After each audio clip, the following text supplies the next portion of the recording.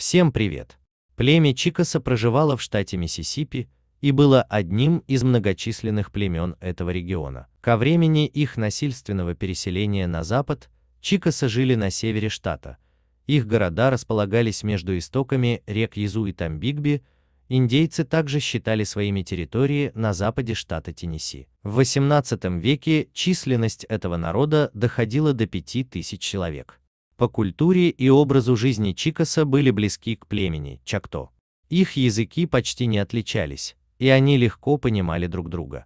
Оба племени считали родство по материнской линии. У народа не было централизованной власти, а было семь городов, в каждом из которых имелся свой вождь.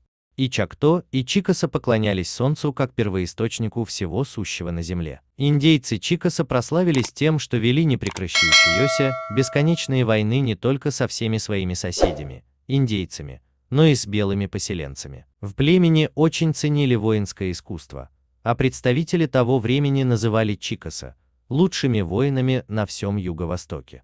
Губернатор французской Луизианы писал, они живут только войной, и бесспорно они храбрейшие на всем материке. Сами Чикаса похвалялись тем, что распугивали своих извечных врагов, индейцев Чакто, даже просто грохотом своих барабанов. В племени военная подготовка мальчиков начиналась уже с раннего детства. Их учили стойко переносить боль и лишения. Влияние военных вождей на жизнь племени было велико. На случай серьезной угрозы у Чикаса имелось несколько хороших крепостей, где можно было бы укрыться. Чикаса так и не проиграли ни одного крупного сражения вплоть до войны за независимость. В середине 16 века первыми европейцами, которые познакомились с Чикаса, стали испанцы. Индейцы не смогли подружиться с испанцами и нападали на них до тех пор, пока те не ушли на запад за Миссисипи. После этого больше века индейцы не общались с белыми, пока в Каролину не пришли англичане.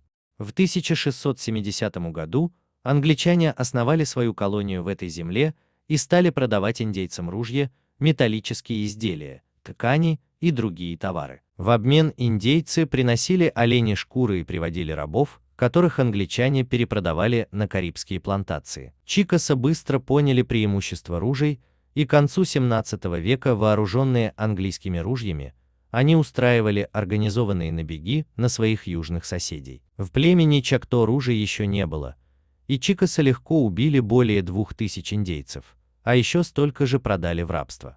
Так эти племена на долгое время стали смертными врагами. Когда в 1699 году на побережье Мексиканского залива закрепились французы, Чакто, став их союзниками, обзавелись ружьями и только тогда смогли дать налетчикам отпор. Дважды в первой половине XVIII века Чикаса воевали против французов и их союзников, индейцев Чакто.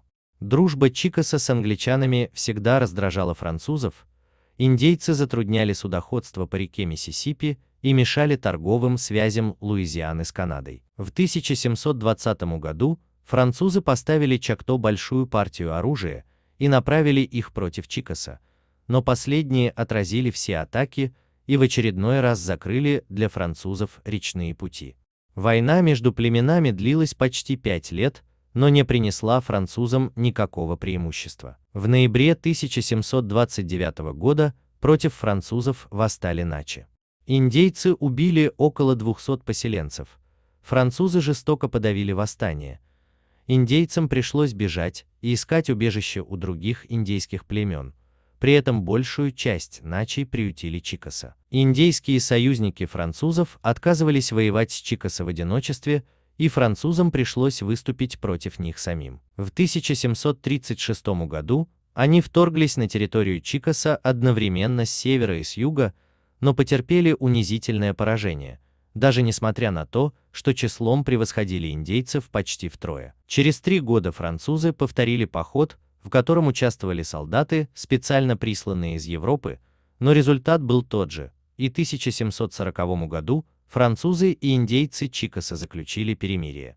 Индейцы разрешили французам свободно плавать по Миссисипи. После этого стычки, если и случались, то не в таких масштабах. В 1763 году французы проиграли англичанам Семилетнюю войну и перестали быть угрозой для Чикаса, в это время прекратился и давний конфликт между Чикаса и Чакто. Французам так и не удалось уничтожить Чикаса как народ, однако их численность сильно сократилась. Недолгий период спокойствия закончился в 1776 году с началом войны за независимость. Вначале индейцы пытались сохранить нейтралитет, но давние связи с англичанами вынудили их вступить в войну. В мае 1779 года новообразованный штат Вирджиния пригрозил Чикаса вторжением, если они не останутся в стороне от конфликта. Вожди Чикаса ответили в том духе, что не боятся никого и ничего. Они написали, если вы придете к нам, вам не придется идти далеко, мы встретим вас на полпути. Знаете, что мы вам не слуги. В конце 18 века индейцы умело лавировали между американцами и испанцами. Они торговали и с теми, и с другими, но не собирались подчиняться никому. Какое-то время эта тактика работала, не давая ни тем, ни другим закрепиться во владениях Чикаса. Но в 1795 году испанцы ушли из региона, а спустя три года была образована территория Миссисипи, и туда хлынули американские поселенцы. Под их растущим давлением вождям Чикаса пришлось решать, как жить дальше. Они решили перейти к новым формам хозяйствования, перестав зависеть от торговли оленями кожами. Индейцы занялись скотоводством, стали выращивать хлопок. За этим последовали изменения в общественной жизни. Американские власти решили обучать индейцев языку, чтению и письму. Только так, по их мнению, индейцы могли стать полноправными гражданами. К сожалению, все вышло иначе. Несмотря на явные успехи Чикаса на поприще цивилизации, жители Миссисипи отказали индейцам в праве владеть собственной землей.